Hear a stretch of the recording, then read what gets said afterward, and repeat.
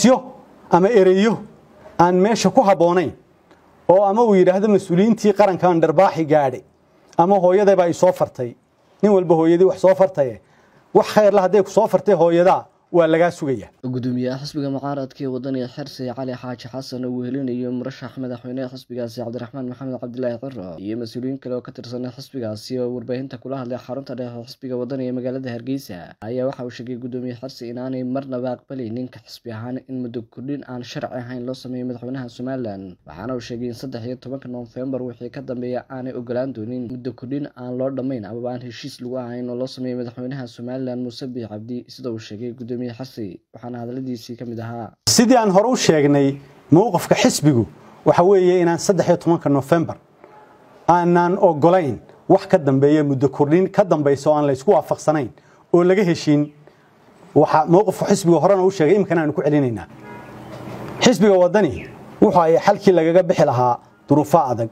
Wuxuu diyaariyey barnaamijyo dalkan lagaga samata bixinayo xaaladda adaga aynu soo sheegnay. Ma aha mucjiso ee waxaanu diyaar u nahay in aanu la wadaagno bulshada.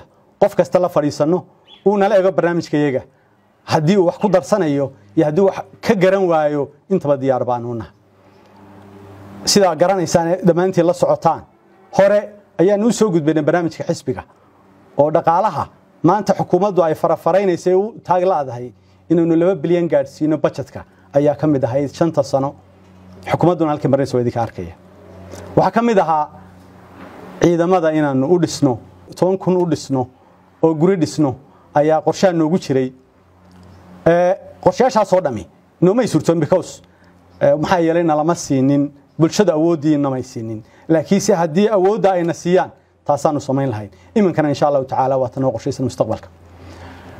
Waxaan uga gudbayaa safarka madaxweynaha uu dhowaan ka soo noqday. Wuxuu iila muuqdaa safar aan ujeeddo lahayn oo la yskaga mashquulinayo doorashooyinka iyo duruufo adag aynu soo sheegnay.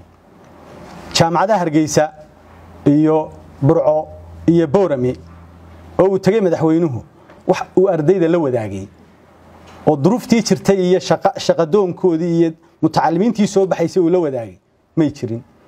Halhaysyo ama ereyo aan meesha ku habboonayn oo ama uu yidhaahdo mas'uuliyiintii qarankan dharbaaxi gaadhay ama hooyadaybaa i soo fartay nin walba hooyadii wax soo fartaye wax khayrla hadday ku soo fartay hooyadaa waa lagaa sugaya.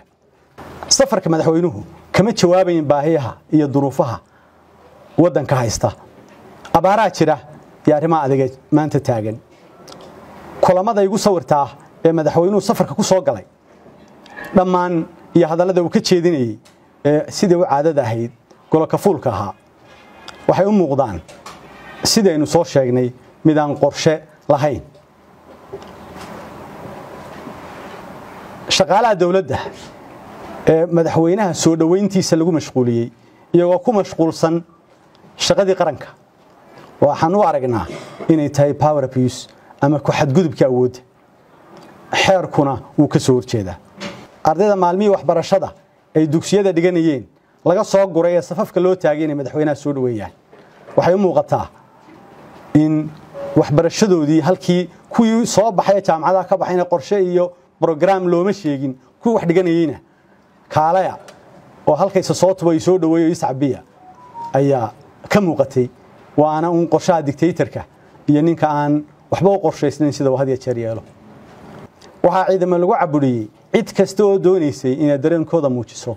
Hadday ahaayeen intii burco iska abaabushay hadday ahaayeen oodu weyne hadday ahaayeen laascaanood iyo meel kasta waxa lagu caburiyey ciidamaa lagu caburiyey waxaanu leenahay dadka xoog iyo jujuub kuma haysan kartidoo cod bay kugu doorteen waxaan uga gudbayaa madaxweynaha soomaaliya oo dhowaanahan hadlay oo sheegay mowqifkooda soomaaliya. Lamana yaaban inay mowqifkooda sheegaan.